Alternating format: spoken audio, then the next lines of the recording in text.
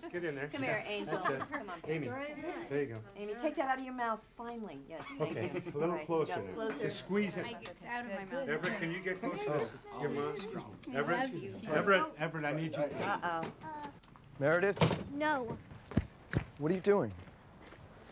Meredith, They hate me. I'm going home. what are you talking about? They hate They me. just met you. I mean, why don't you give them a chance? I did.